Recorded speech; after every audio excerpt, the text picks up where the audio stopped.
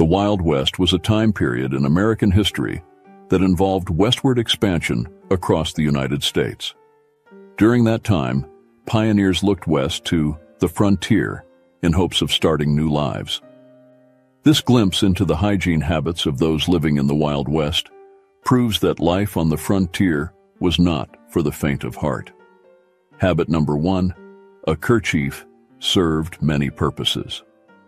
One of the most iconic aspects of a cowboy's outfit is his kerchief or bandana, something he couldn't live without. They served a multitude of purposes, such as keeping the dust out of their mouths and noses, protecting their neck from the sun, ears from the cold, and more.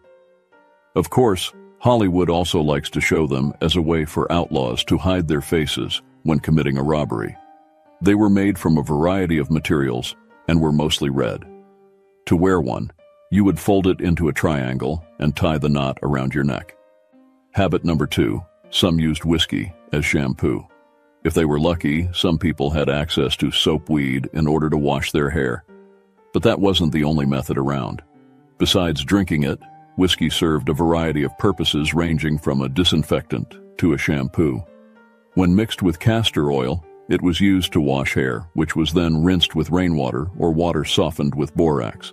When it came to women styling their hair, it wasn't uncommon for them to use heated pencils as rudimentary curlers.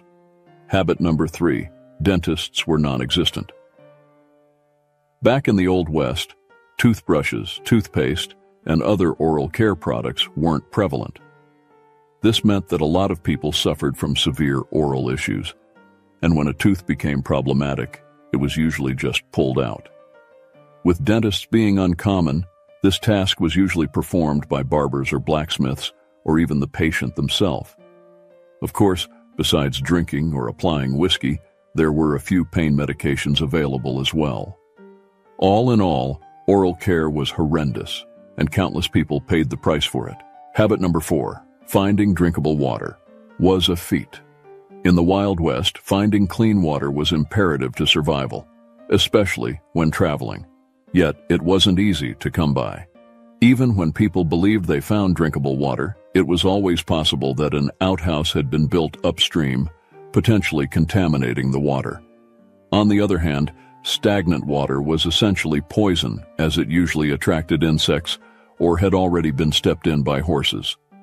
Furthermore, the rainwater that was collected using cisterns was fresh at first, but would eventually become undrinkable over time. Habit number five, the cowboy stench. After weeks on the trail, many cowboys were described as smelling like their horse. Although this saying led some to believe this was the result of a cowboy being atop his horse for extended periods of time, this is mostly the accumulation of normal skin bacteria from not being able to shower. Being so dirty if a cowboy was unlucky enough to have a cut or abrasion with staph or strep, they had the possibility of impetigo. Although this was not always fatal, these infections were contagious and chronic among cowboys. Habit number six, there was sickness at every turn. Because of the unsanitary conditions that many people living in the Old West experienced, it was common for diseases to ravage settlements in the American frontier. One of the most prominent was cholera, which was devastating to both Native Americans and settlers alike. Sickness was at every turn, and it was seen as a miracle if you came across a camp or settlement where there wasn't any disease at all. According to Sarah Raymond Herndon's book, Upon Arrival at One Camp, there is no sickness in camp at all. It is marvelous how very well we are. I hope it will continue so. Habit number seven, soap wasn't a top priority. An associate of Billy the Kid, Frank Clifford, wrote a memoir about his life in the American West, even discussing his experiences with soap.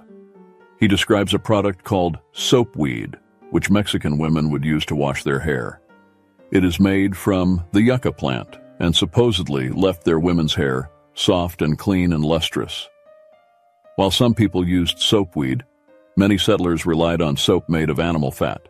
These homemade soaps were known to be particularly harsh and would cause skin irritation.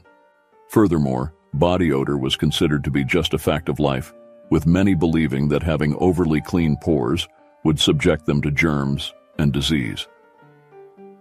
Habit number eight, outhouses were a nightmare. As you can imagine, going to the bathroom in a shed that's built on top of a hole in the ground isn't the most pleasant experience. Although nobody had a problem taking care of their business outside in the bushes or the woods. Outhouses were typically built near homes, and when the hole became full, it was buried, and the structure was moved to another hole. Unsurprisingly, considering the smell, outhouses attracted all kinds of insects and were an easy way to catch a disease.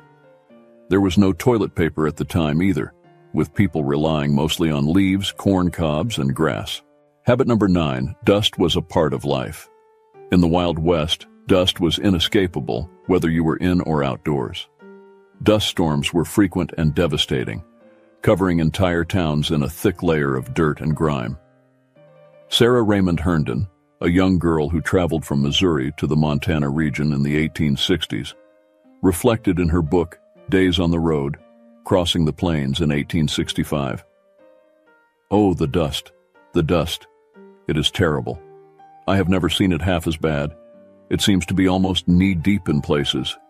When we stopped, the boys' faces were a sight. They were covered with all the dust that could stick on. Of course, the presence of so much dust also caused severe respiratory illnesses. Exploring the hygiene habits of the Wild West has been a truly eye-opening journey. It's remarkable how the people of that era adapted to the challenges they faced, and it gives us a unique perspective on their resilience and resourcefulness. From the multi-purpose kerchiefs to the unconventional use of whiskey for shampoo, it's clear that hygiene in the Wild West was a far cry from our modern standards. Dentists were a rarity, clean water was a luxury, and sickness lurked around every corner. Soap, when available, could be harsh, and outhouses were a necessary evil. And who could forget the ever-present dust that seemed to blanket everything? As we reflect on these historical hygiene practices, it's important to appreciate the advancements we've made in cleanliness and healthcare. We're fortunate to live in a time where access to clean water, effective hygiene products, and medical care is readily available.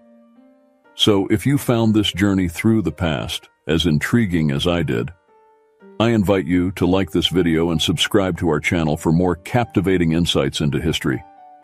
And let's not forget to be grateful for the conveniences of modern life, while honoring the resilience of those who came before us. As we conclude this exploration, remember to stay clean, stay curious, and always cherish the lessons that history has to offer.